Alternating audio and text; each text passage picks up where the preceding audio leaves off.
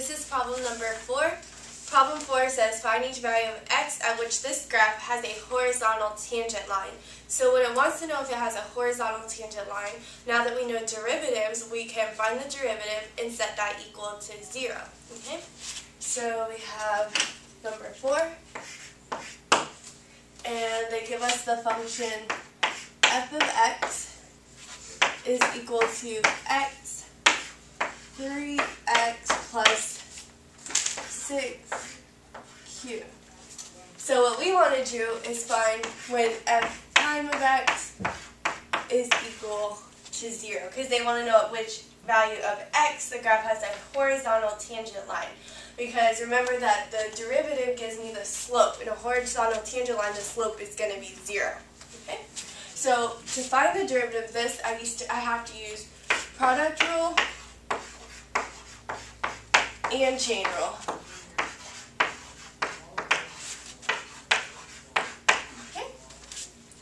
So f prime of x, we're going to say that this is f and this is g.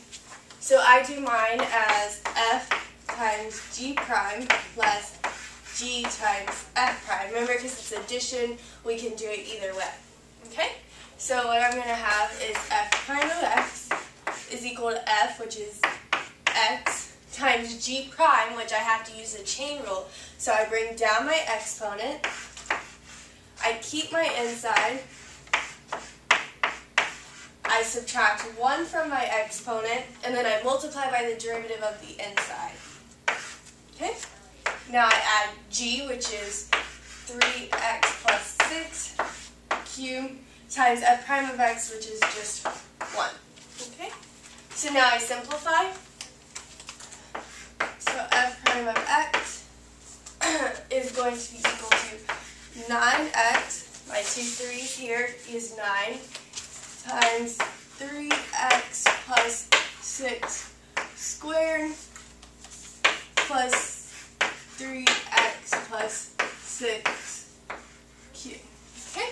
And I want to set this equal to 0. So now all I have to do is solve for x. So I see that there's a 3x plus 6 in both terms. So I'm going to factor that out to the smallest exponent. So I'm going to factor out the squared. So I'll have f prime of x equals, I factor out this, like 3x plus 6 squared. And what I have left is 9x plus 3x plus 6 equals 0. So now I can set both terms equal to 0 separately. So I'll have 3x plus 6 squared equals 0, and then I can combine these two. So I'll have 12x plus 6 equals 0. So here I have 12x equals negative 6, x equals negative 1 half. So there's one answer. And then when I solve this one, I have 3x plus 6 equals 0, 3x equals negative 6, x equals negative 2. So those will be your answer, and that is choice B. Okay, so let's review.